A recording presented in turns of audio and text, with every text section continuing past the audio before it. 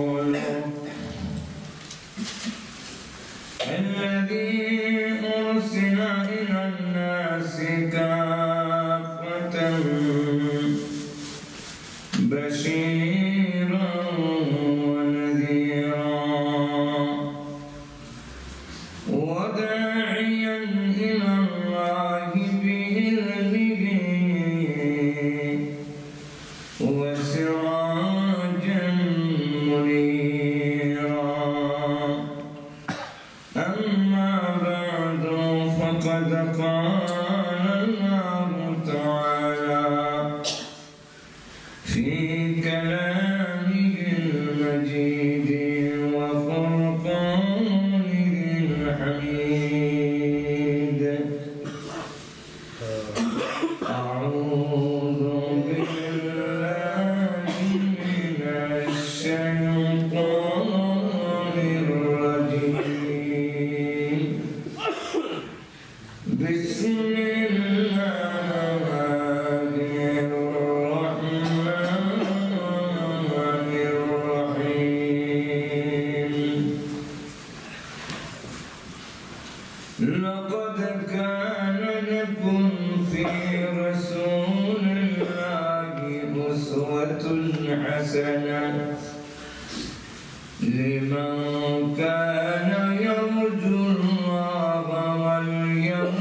are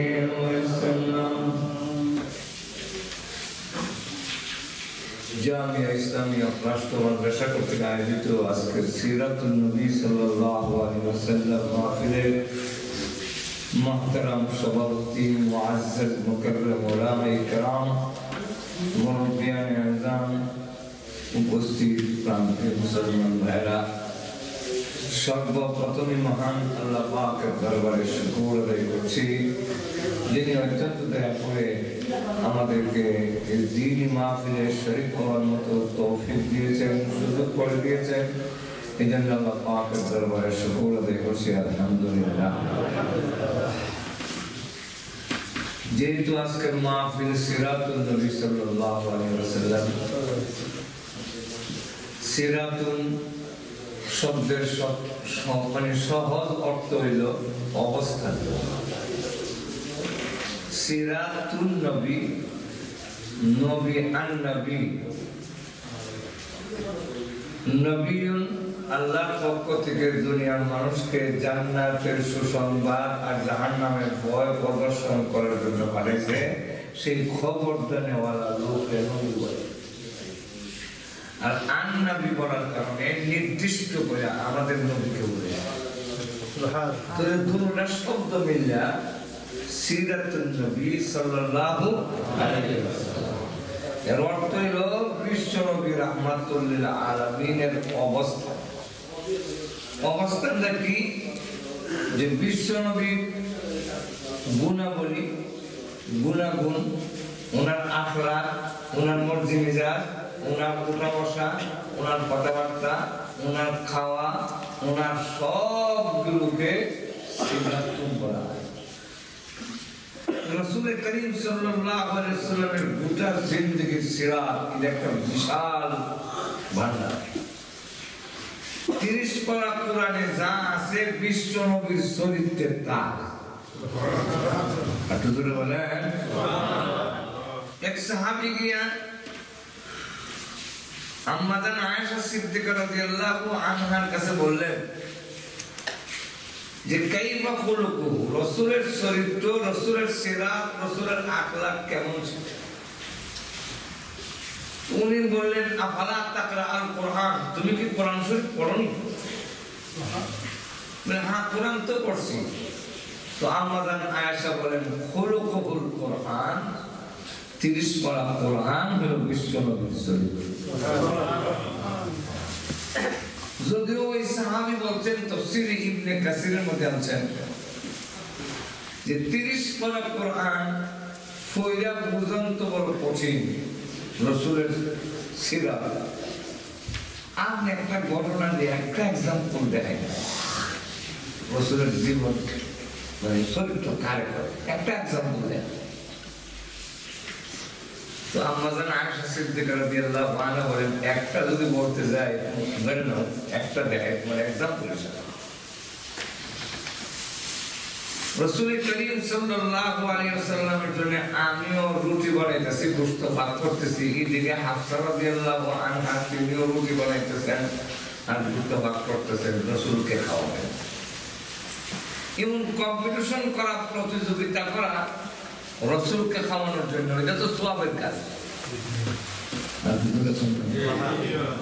কোন আল্লাহওয়ালাকে, কোন আলেম বুজুর্গকে আপনি কয়েকজন যদি প্রতিযোগিতা করে আমি হেন করে আমি খাওয়াবো এমন প্রতিযোগিতা করা তো এটা গুণা না এটা তো সোয়াবের কাজ। কিন্তু আমাদের আয়েশা সিদ্দিকা রাদিয়াল্লাহু আনহার ভিতরে রাসূলের মহব্বত, ভালোবাসাটা বেশি। কম না। ভালোবাসার কারণে একটু অতিরিক্ত করে দিয়েছে। হযরত আয়েশা সিদ্দিকা রাদিয়াল্লাহু আনহার ভিতরে রাসূলের ভালোবাসা আর মহব্বত কি পরিমাণ? কোরআনের আয়াত হওয়ার পরে যে দুনিয়া এবং দুনিয়ার চাকচক্য গ্রহণ করবে, না আল্লাহ রসুল আখেরাত কোনটা গ্রহণ করবে? প্রস্তাব যখন পেশ করলেন আম্মাজান আয়েশা সিদ্দিকা রাদিয়াল্লাহু আনহা বলেন, ইয়া রাসূলুল্লাহ তাম পৃথিবী যদি এর দিকে রাখা হয়, আর শুধু বিশ্ব নবী যদি এর দিকে রাখা হয়, আর আমি আয়েশাকে যদি বলা হয় তাম পৃথিবী নিবা, না বিশ্ব নবীকে নিবা, আমি কোটিবার পৃথিবীকে লাথি মেরে বিশ্ব নবীকে আমি গ্রহণ করতে চাই। তাহলে আমাদের আয়েশা সিদ্দিকা রাদিয়াল্লাহু আনহার অন্তরে রাসূলের মোহাম্মদ ভালোবাসা আছে না। এত দূরে বল। রাসূল গোসল করতেছেন আমাদের আয়েশা সিদ্দিকা রাদিয়াল্লাহু আনহা পানি ঢেলে দেন। তো রাসূল বলতেছেন, আয়েশা, আমার পানি ডালি সাদা, লাল হয়ে যায় আমাদের আয়েশা সিদ্দিকা রাদিয়াল্লাহু আনহা বলেন, ইয়া রাসূলুল্লাহ আপনি যে জল ছবিটা বইয়া আপনি গোসল করতেছেন এটার নিচে আমার পাওয়ার আঙ্গুল ভরে গেছে আর শরীরের সাপে আমার আঙ্গুল ফেটে রক্ত যেতেছে পানির সাথে আমার তার রক্ত দিয়ে লাল তো রসুল বলেন আয়েশা তুমি আহ কোন শব্দ উচ্চারণ করলা না। তুমি বললে আমি উঠে দাঁড়াই তোমার আঙ্গুল বাজে যাই। এটা বলো না কেন? আমাদের আয়েশা রাদিয়াল্লাহু আনহা বলেন, ইয়া রাসূলুল্লাহ, আমার আঙ্গুলটা এই জল ছবির থেকে টাইনে আনতে গেলে আমরা তো উঠে নিলাম আপনি উঠতে উঠতে তো আপনি উঠতে গেলে যে কষ্ট হবে, এই কষ্টটা আমার আঙ্গুল কেন? আমার স্বয়ং কলজা যদি এই জল চোখে মিশে কইরা টুকরা টুকরা হয়ে যায়, তথাপি রসুলের দাগ করানোর কষ্ট আমি বরদাস্ত করতে তো এখন চিন্তা করেন আমাদের আশা সৃষ্টিকার অন্তরে নবীজির ভালোবাসা, মহব্বত আসেনি? আসেনি? এখন এতটুকু মহব্বত দেখার পরে কেন এই কথাটা বললাম? পরের যে কাজটা করতেছে এটার উপরে আমরা বিভিন্ন মন্তব্য করতাম উনি করছে কি তা বারবার রুটি বানায় আর খেয়াল রাখে, কি জানে হাফ সার খাওয়ান নিয়ে আমার আগে তো আমারটা না খাই আর হেবিটি রুটি খাই দিব আমি তার খাওয়াইতে পারব ঘটনা কমে তাই হয়ে গেল। যে হাফসা রাদিয়াল্লাহু আনহা রুটি তৈরি হয়ে গেছে। প্লেনটা নিয়ে আসতেছে গোস্ত তৈরি হয়েছে আর পেয়ালার মধ্যে গোস্ত রসুলকে খাওয়াবেন আমাদের আয়েশা সিদ্দিকা রাদিয়াল্লাহু আনহা নিচে দিছে তাহা রুটি বসে একদিকে তরকারি করে গেছে আরেকদিকে প্লেট বাইঙ্গার দুই টুকরা বিশ্ব নবীর সামনে আচ্ছা আমরা যদি কারও দুই বউ থাকে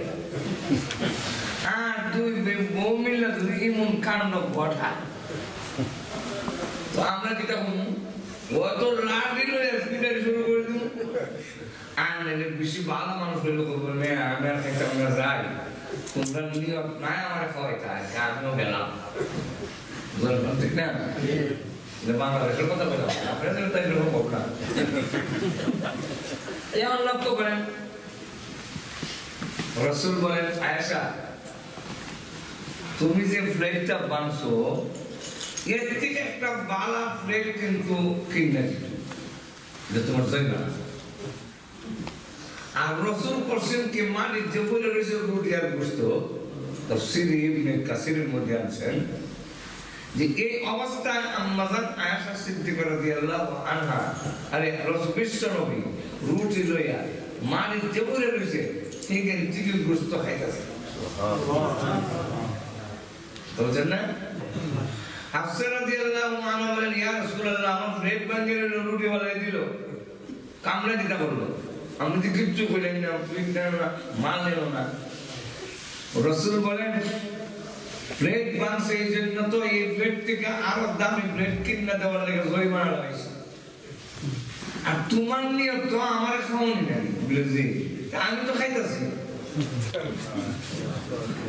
সুবহানাল্লাহ আস্তে করে না তোমার তো উদ্দেশ্য আমার খাওয়ানি তো খাইতে আছি তোমার খাওয়ানি হয়েছে নি? বলে খাওয়ানি তো হয়েছে। কিন্তু আমাদের মালিক খেতে না এটা আমার ব্যাপার। আমি যদি কলা পাতা খাই আর ভালো লাগে তো তোমার দেখে? আমরা তো অনেক সময় কলা পাতা খাবেন না দোকানের নাম রেখে কলা পাতা তো খাওয়া না যদি, যে খাইব সে যদি কলা পাতা খাই আর সন্তুষ্ট হয়, তাহলে আপনার কোন আপত্তি আছে? রসুল দেখেন কি সমাধান দিলেন? তুমি আমার খাওয়ানোর জন্য রেডি করছ। আমি তো খাইছি, তোমার রাগ করার কিছু নাই আর তোমার প্লেট মানছে, এই জন্য তো তোমার এই যে প্লেট জরিমানা লাগাইলাম দামি প্লেট কিনে দিব। আর আয়েশাকে শুধু বললেন, কাজটা তুমি ঠিক করনি, কাজটা ভালো হয়নি। আম্মাজান আয়েশা বলেন যে, আমি যে কাজ করছি, আমাকে লাঠিটা পিঠাইয়া ঠিক করার কথা ছিল। কিন্তু বিশ্ব নবী যে ব্যবহার দিয়ে আমাকে মন জয় করলেন যা কোটি কোটি বৎসর যদি একটা মনকে পিঠা নয় তা হাসিল করা সম্ভব নয়। বিশ্বনবীর চরিত্রের দ্বারা কিনা এই কারণে বিশ্ব নবীর আহমদুল্লিল আলমিনকে যে আল্লাহ রাব্বুল আলমিন একটি চরিত্র দিয়েছিল তার নাম কোরআন চরিত্র। এই চরিত্র পৃথিবীর আর কোন নবীকেও আল্লাহ দান করেন। হয়ে গেছেন দেখেন আর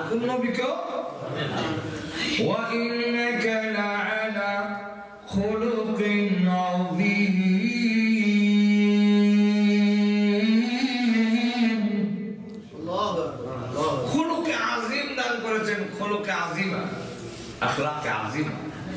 অন্য নবীদেরকে দিয়েছেন খলুকে করিম। আর আমাদের নবীকে আল্লাহ দিয়েছেন খলুকে আজিমা। লক্ষ্য করে দেখেন, খুলুকে করিম আর খুলুকে আজিমের মধ্যে পার্থক্য কিটা যেন অন্য নবী কেউ দেয় নাই। বলুন। অসুবিধা হইতেছে। শুধু বোঝার জন্য দিলে আমার উপায় নেই। যদি আগামীকাল শেষ প্রোগ্রাম। আগামীকাল আমার প্রোগ্রাম কি বছরে লেগে আল্লাহ বাসায় এবার বৎসরের জন্য লন্ডনের শেষ প্রোগ্রাম মদানি গার্লস। গেছেন এখানে যদি ইনশাল্লাহ সুযোগ পাইতে পাবো আজকে আমরা লক্ষ্য করে দেখেন অবস্থাটা দেখেন যে হলুকে আজিম আর কুলুকে করিম হলুক তিন প্রকার চরিত্র তিন প্রকার। একটা হলো ভালো চরিত্র একটা হলো উত্তম চরিত্র আর একটা হলো মহান চরিত্র। অন্য নবীদের চরিত্র হলো উত্তম চরিত্র বিশ্ব নবীকে আল্লাহ দিয়েছিলেন মহান চরিত্র। আসতে পুলিশ একটু ঘরে খোলকে আজিম আর খোলকে করিমের মধ্যে পার্থক্য রেখে দেখেন? নূহ আলাইহিস সালামকে আল্লাহ দিয়েছেন খোলকে আর আমাদের নবীকে আল্লাহ দিয়েছেন খোলকে খোলকে করিম যিনি, উনি সাড়ে নশো বছর মায়ের খাওয়ার পরে ছোট্ট একটি বাচ্চা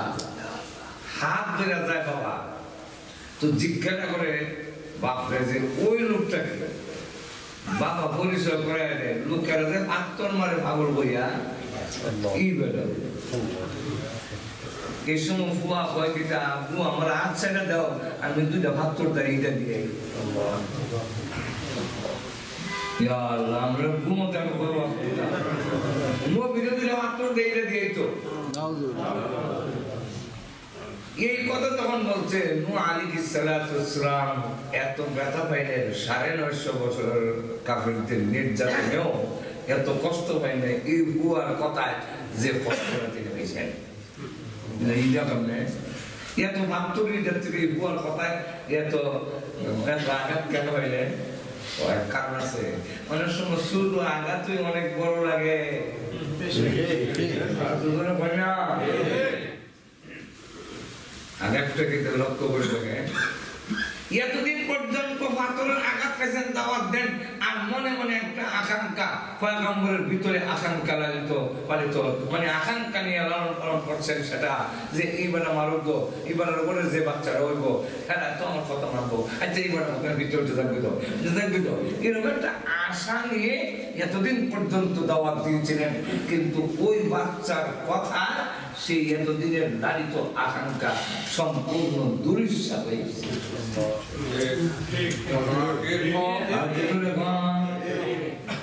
বলছেন না হয়ে গেল, কেমন?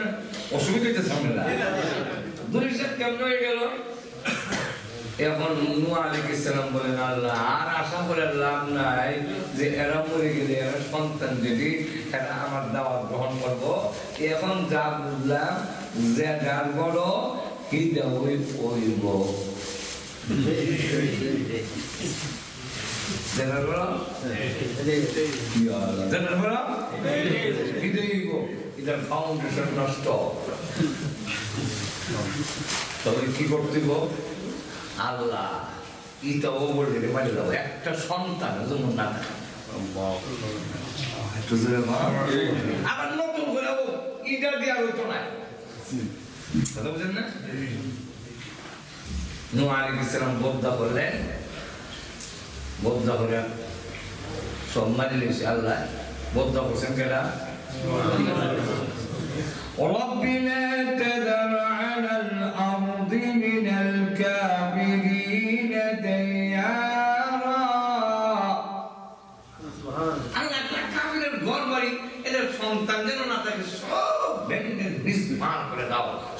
করে দাও। আলাইহিস ইসলামের বদুয়া আল্লাহ রাব্বুল আলামিন এমন গজব দিলেন এমন পানি হইল। তফসিরের কিতাব উল্লেখ করছেন যে যেখানে পৃথিবীর সর্বোচ্চ জায়গা ইসলামের যে বন্যার এলাকা এই এলাকার মধ্যে সবচেয়ে উঁচা জায়গা যেখানে এইখানে চল্লিশ গজ পানি হয়েছে।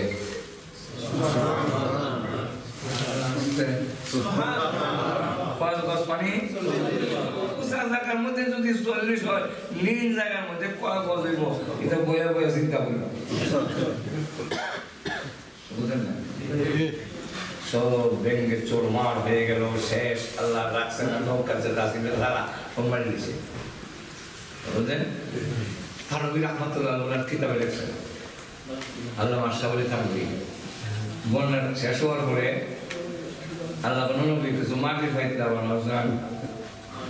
ফাইতলা বানাও জান কিছু মাটির পাতিল বানাও তোর নুয়া আলী ইসলাম কিছু মাটির পাতিল বানাইলেন বানাইয়া করেছেন ছোট বড় বানাইও বানাইছে আল্লাহ অর্ডার দিলেন এক একটা বাইরিয়া বাংলো যান এখন নুয়া ইসলাম জবাব দেয় প্রভু শ্রম দিয়েছি মাল খরচ করেছি আমি তো শ্রম দিলাম, মাটির ভাগ্যা তৈরি করতে গিয়া। টাকাও খরচ হয়েছে।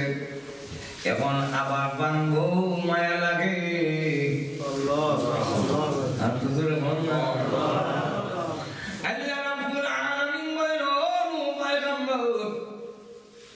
এই কথাটা বোঝাবার জন্য তোমাকে দিয়া মাটির পাতিলা বানালাম একটা মাটির পাতিলা, তার মধ্যে কোনো প্রাণ নাই।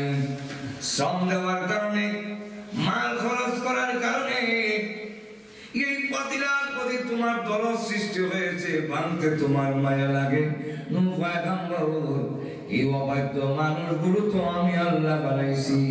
তোমার বদুয়ার কারণে ধ্বংস করলাম, আমি আল্লাহর কেমন মায়া লেগেছে?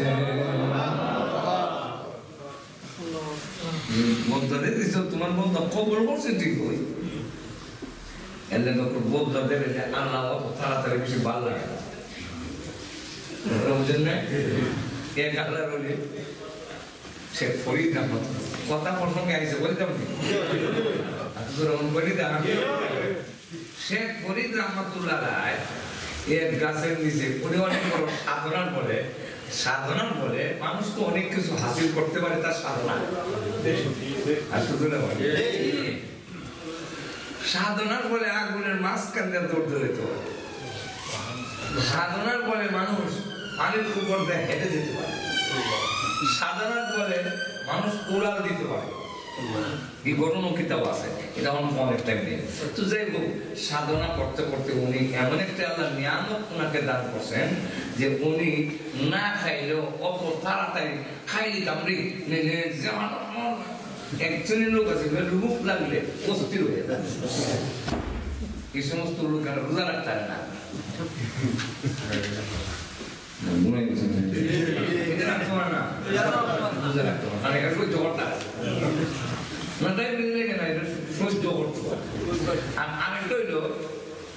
উনি পানি পান না করলেও অসুবিধা নেই ধৈর্য করতে কিন্তু একটা গাছের নিচে বসছে গরম দিয়ে হাঁটতেছে গরম দিয়ে তো একটা গাছের নিচে বসতে বলে ওই গাছের মধ্যে কিছু পাখি আছে। বিশেষ করে কাউয়া কাউয়া যদি গাছে থাকে আর আমরা যদি গাছের নিচে বল হের যদি ভেড়ের ভিতরে ভাঙা নাও থাকে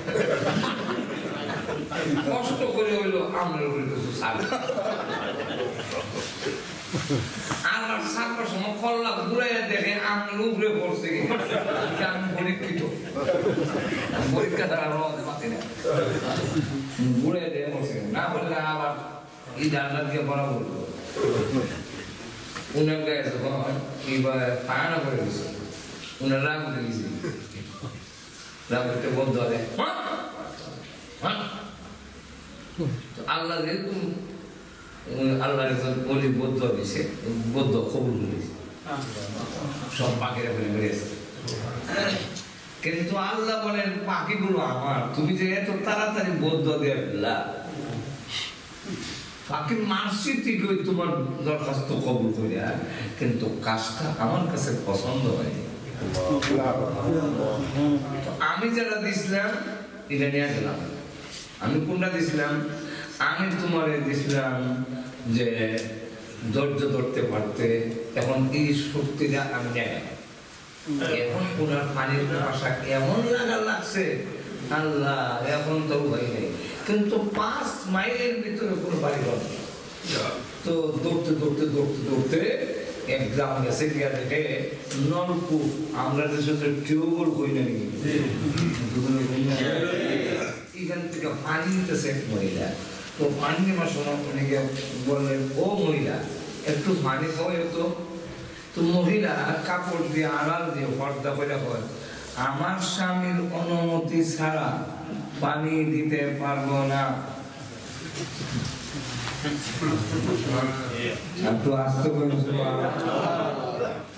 তখন এই শেখ ফরিদ রহমতুল্লাহ তিনি বললেন বৌদ্ধ দিমু। আমার বড় পানি যেমন পানি না তো বৌদ্ধ দেব ছাড়া। আমার ভয় থাকতো না। মহিলা তখন জবাব দেয় আমি পাখি নই। আরও আস্তে করে আমি পাখি নই। আপনার বন্ধু আমি ভয় পাই না। দৌড়ে পাই দিছি ওই পাঁচ মাইল দূরে বৌদ্ধ দিছিলাম পাখি মারছি। এই বেটি জানে এই বেটি জানলো এমন কয়ে তো বেটি বাড়ি গেছে। বেটি ঘরে গিয়ে বলতেছে ওনার স্বামীকে ওই যে একজন আল্লাহর ওলি এসে ওনার নাম শেখ ফরিদ রহমতুল্লাহ রায় উনি পানি চাইছি তো আপনি নিয়ে এক গ্লাস পানি দিয়ে তো পানি নিয়ে গেছে হুজুর আপনি পানি চেয়েছিলেন বলে হ কেমনে পাওয়ার পানি একদম বলে কেন? ফার্স্ট মাইল দূরে আমি অভিশাপ দিলাম পাখিগুলো মরে গেল। এই বেড়ি জানলো কেমনে? তখন তো টেলিফোনও নাই ওয়ারলেসও নাই মোবাইলও নাই। তাহলে এই বেড়ি জানলো কেমনে? ইদার না বানা পর্যন্ত পানি আর খাইতাম না। বাকি আমি আর কইতাম না।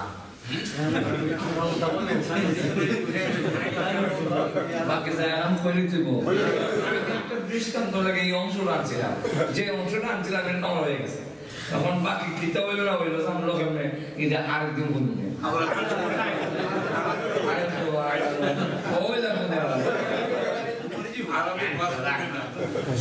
এখন স্বামী কয়, শুনুন সেই ঘটনা আমার কাছ থেকে শুনুন।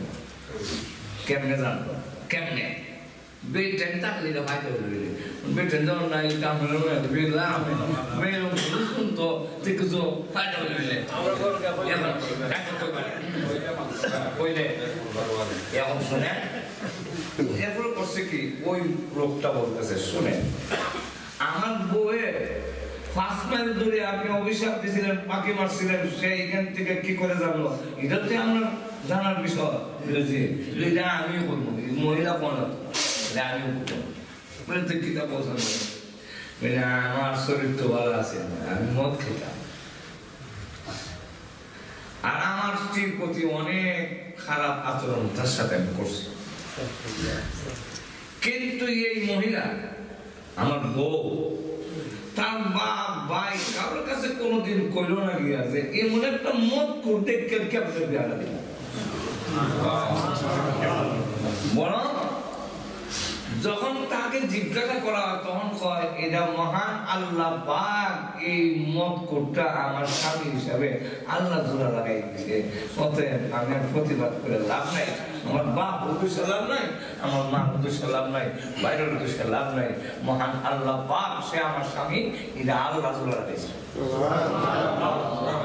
যেহেতু আল্লাহ জোড়া লাগাই দিয়েছেন এই কারণে মেনে নিছি এখন কোনোদিন প্রতিবাদ করে না। কোনোদিন কেস দিল না কমপ্লেন দিল না।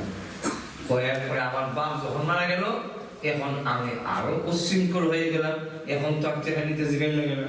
গেলাম সম্পত্তির মালিক তখন আমি নিজে। এখন তোমাদের বারের মধ্যে বুঝে তাই।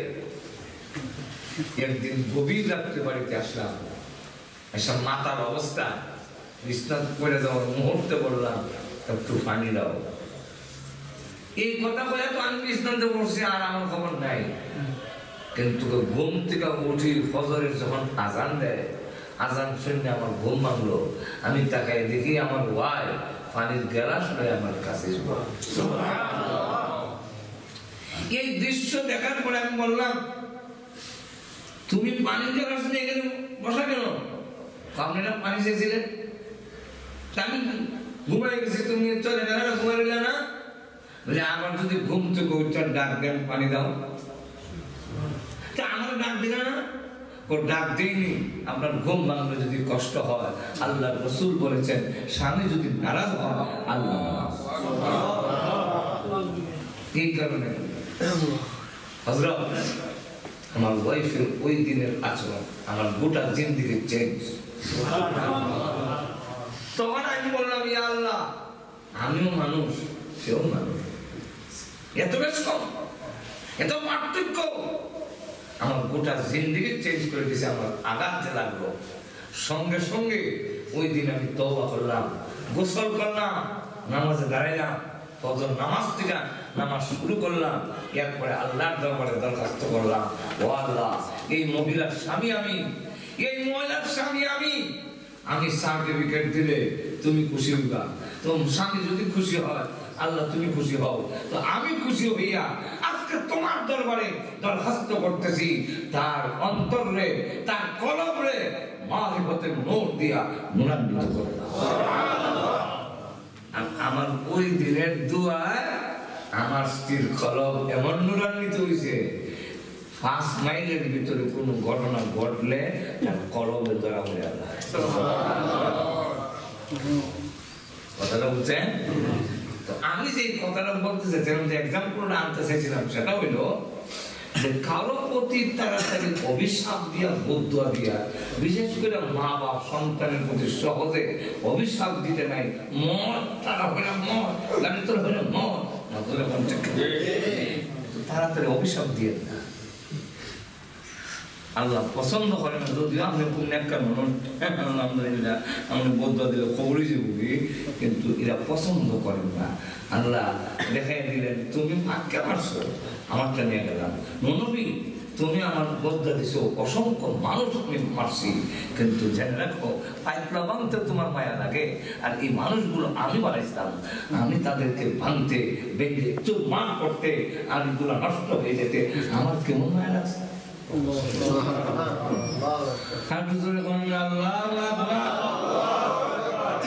এখন কুলুকে আজিম করে করে দেখেন। আল্লাহ।